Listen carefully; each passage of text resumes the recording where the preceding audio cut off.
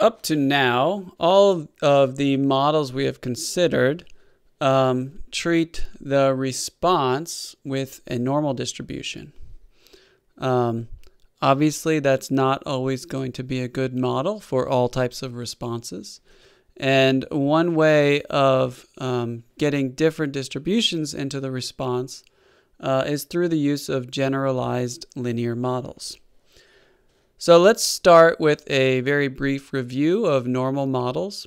So here we have we're a random variable yi equal to mu i plus epsilon i.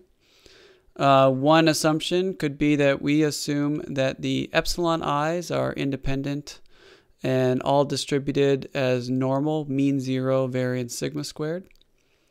Um, now, most of the models uh, this semester have had this exact form. Um, the one um, departure from uh, this form is when uh, we use random effects models, which allow for different types of assumptions about the errors. Um, namely, they could be correlated um, and uh, they can have different variances. Um, now, another way of writing this normal model um, is the following. We can say yi are independent, normal with mean mu i and variance sigma squared. And then we specify what the form of the means are. So in the case of linear models, we can write that as b0 plus sum j equals 1 to p bj xij. So this particular form, this encompasses all of the different forms we've discussed this semester. So it involves um, numeric covariates, uh, factors you can write this way, factor numeric interactions, factor factor interactions, so on and so forth. You can all write in this sort of general uh, form for the, um, the linear model. Um, like I said, this includes polynomials, factors, interactions, so on and so forth. Now, this is a very powerful modeling framework, um, but it doesn't cover everything. So, in the next video, we're going to look at a data set of uh, field goals from the NFL. So, in the NFL um, and football in general, they there's a way to score points by kicking the ball through um, a goal. And each time you kick, it either goes in or it doesn't. So the response there uh, is either no or yes or binary. And binary responses in particular um, are not very well modeled with a normal distribution. You really can't get anything further uh, from a normal distribution than a binary response. So these normal models are great. Um, you've seen all of the flexibility of the models this semester, um, but it doesn't cover everything. So let's look at the form of a generalized linear model. The generalized linear model has three parts, uh, the family, the link, and the linear part. In the family part, we specify what is the distribution we assume uh, for the responses. Uh, in the link part, so in the distribution part, we're usually going to have a parameter that describes uh, what the specific uh, for example, the mean of that distribution is. The link part links the mean, mu i, or whatever parameter you have here, to the linear part. So the link part, there's going to be some uh, some parameter ai, and the link is uh, a function of ai, so that's mu i. And then ai we model uh, with our normal or regular old linear model. So uh, linear combination of the covariates. So just remember for generalized linear model, this is how you specify. You have to specify these three parts, the family, the link, and the linear part. The, your choices here will depend on whatever um, type of data you have and, and the covariates that you have. So um, the distribution, so this will be replaced by a specific probability distribution. We're going to look at binomial and Bernoulli in this lecture, but it could be Poisson, which is a model for unbounded counts. It could be gamma distribution or whatever you like. The link will be replaced by a specific function. A very common link function is you do e to the ai to get mu i. Um, there's also the logistic link function, which we'll look at later in this lecture. And then the linear part will just depend on whatever covariates you want to include to help predict the response. Um, so this, this means which factors, which numeric covariates you're interested in for the specific uh, problem you're working on. All right, so the most basic generalized linear model probably is the uh, Bernoulli response. So when you have a Bernoulli response and you choose a specific link function called the logistic function, um, you get what people call logistic regression. So logistic regression is used when the response is binary, um, for example, 0 or 1, success or failure. Um, so we'll write yi for the response. It's 1 in this field goal example, if the ith field goal attempt is a success and it's zero it's a, if it's a failure. What we want to do is model the probability of success of the field goal as a function of some covariates. In this example, we'll look at the distance um, of the field goal. So the distance, uh, how far away the kicker was from the goal uh, when he kicked the field goal. So let's go through the three parts of the generalized linear model. So the distribution we're going to choose as Bernoulli. Bernoulli is the natural distribution to choose uh, when your response is binary. Uh, we'll say that these are independent. Uh, Bernoulli PI. Uh, PI uh, in the Bernoulli distribution tells us the probability of a success for the ith attempt. Our link function uh, we're going to use this kind of weird function. This is called the logistic function. It's uh, e to the ai over 1 plus e to the ai. And the linear part is going to be very simple. Uh, b0 plus b1 xi, where xi is the distance of the ith field goal. All right, before we go on, let me just show you uh, what the logistic function looks like and why this is a, a natural choice for uh, Bernoulli responses for to link to a probability. So this is what the logistic function looks like. On the horizontal axis, we have A, and the vertical axis, we have e to the a over 1 plus e to the a. And you can see when a is very negative, you get um, probabilities that are close to 0. And then as a increases, the probability increases up until 1, but it doesn't go past 1. So this logistic function is a natural choice because it's a mapping from the whole line, so a can be any number, negative or positive, to the interval 0 or 1, which is where probabilities live. Probabilities have to be between 0 and 1.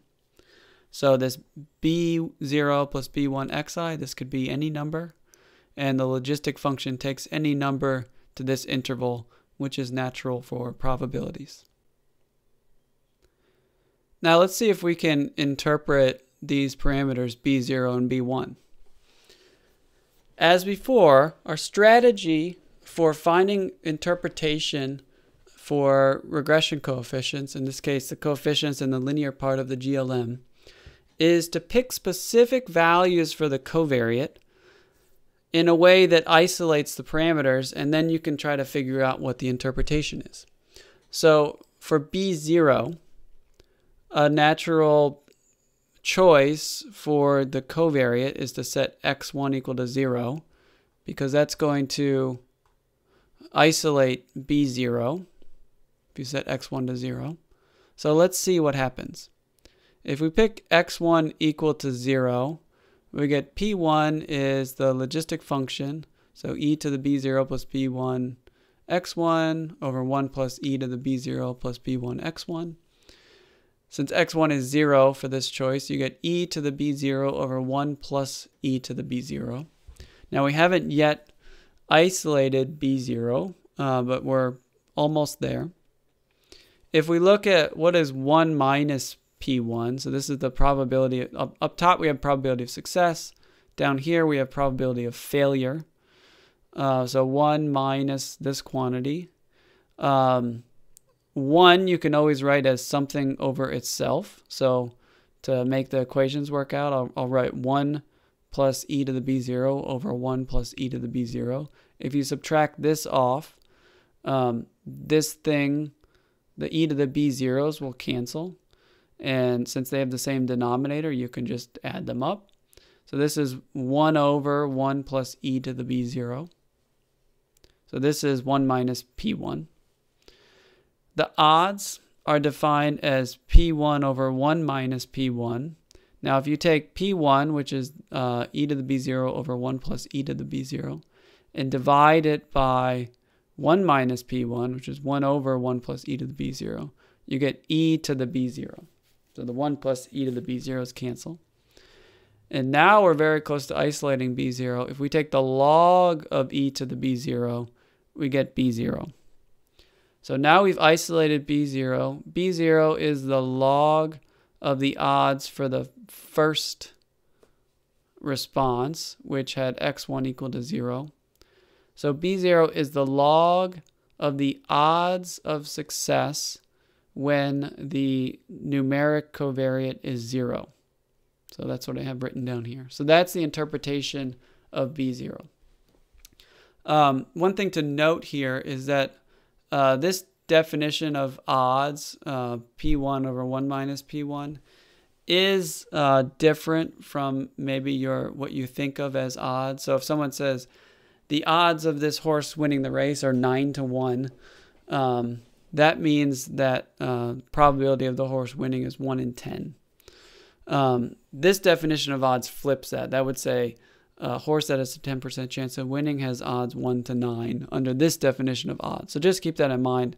Uh, this is a different definition of odds um, than is used in, in other situations. But this is what's uh, naturally, this is what is usually used um, when people talk about uh, log odds in the context of generalized linear models.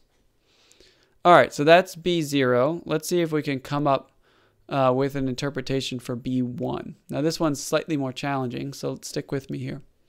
So we set x1 equal to 0, and we're going to reuse that choice. But now we're going to set x2 equal to 1. If we look at the odds for the second attempt divided by the odds for the first attempt, this is called an odds ratio. This is equal to e to the b0 plus b1 x2 divided by e to the b0 plus b1 x1. So the odds are always going to be e to the b0 plus b1 xi. If we take the odds ratio, you get this. If we plug in the specific values for x2 and x1, x2 x x2 is equal to 1, so you get e to the b0 plus b1. x1 was 0, so you get e to the b0. And if you take the ratio of this, if you have uh, sum of exponents, it's equal to e to the b0 plus, times e to the b1. Divide that by e to the b0, you're left with e to the b1. Now we're very close to isolating b1. We just have to take the log now. So b1 is equal to the log of this odds ratio. So it's a log odds ratio when xi is increased by 1. So that's the interpretation for B1. And in logistic regression, the interpretations for the regression coefficients are always going to have uh, interpretations like this. It's a it's a increase in the log odds ratio when it is the log odds ratio when the covariate is increased by one. Okay, now the Bernoulli response distribution is just one example of a response distribution that you can pick for a generalized linear model. Uh, it can handle many different distributions, as I said before, binomial, Poisson, exponential, gamma, yada, yada, yada. But for each choice of the distribution, the basic structure of the model is the same. You have to specify the distribution, the link function, and the linear part. Um, and you can it's very flexible. You can get all kinds of different things, but sort of the core of the generalized linear model is the same. And each specific generalized linear model corresponds to a specific choice of a distribution, a specific choice of a link function, and a specific choice of uh, which covariates to include in the linear part. Uh, one final note is that you might be tempted to write something like this yi is mu i plus epsilon i, where epsilon i has some distribution, non-normal distribution. Now this works for normal models. So if epsilon i is normal, then yi is going to be normal. But for other types of distributions, this doesn't work. So you might be tempted to write something like this, but don't do it for a generalized linear model. Always specify your generalized linear model with these three parts. So this is the example for our field goal data. Always specify it like this. There is one exception. There is something called a generalized linear mixed model. All this means it's a it's a GLM uh, with random effect random effects in the linear part, but the specification is different. Um, if you want just a quick um, analysis of how it's different, if you're doing a generalized linear mix model, you're adding a random effect in the linear part, and not it's not that you're adding something to re the response. So don't ever ever ever write down a generalized linear model in this form. Um, it's not correct, um, and you'll confuse people. Okay, that's it for generalized linear models.